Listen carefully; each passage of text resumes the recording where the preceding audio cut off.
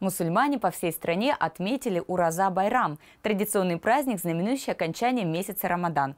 Ураза Байрам продлится три дня. Верующие поздравляют друг друга, готовят традиционные блюда, надевают лучшую одежду, ходят в гости с подарками и веселятся. В городском округе Люберцы центром торжества стал парк культуры и отдыха в Малаховке. Здесь мусульмане отметили праздник утренней молитвой. Торжество Ураза Байрам началось с рассветом. Ранним утром верующие совершают намаз. О посте, предшествующем празднику, рассказал имам Хатыб Любрецкого района Рамиль Рахманкулов. Пост – это не только не есть и не пить с утра до вечера.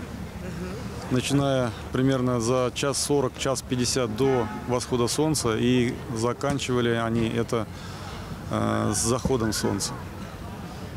Но и мусульмане должны в это, в это время э, блюсти свою нравственность, не ругаться, не сплетничать, не ссориться ни с кем. Ураза Байрам – это праздник разговения. Он отмечается в честь окончания поста в священный для мусульман месяц Рамадан. Традиция празднования ведет свое начало со времен пророка Мухаммеда, 624 года. В этот день для духовного очищения верующим предписывается читать Коран и раздавать обязательную милостыню. После чтения молитвы мусульмане этот день проводят в кругу семьи и родных. В каждом доме готовят традиционные блюда, накрывают праздничный стол и принимают гостей. Мусульмане празднуют этот день, как зовут друг друга в гости, готовят разные угощения, звонят тем своим родственникам, которые от них находятся далеко.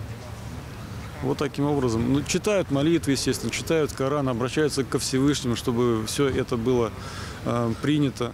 Верующие отмечают Ураза Байрам три дня. Накануне и во время празднования принято помогать нуждающимся, вне зависимости от их религиозной или национальной принадлежности. Внимательно относиться к своим соседям, тем, кто живет рядом. Также в священные дни верующие просят друг у друга прощения.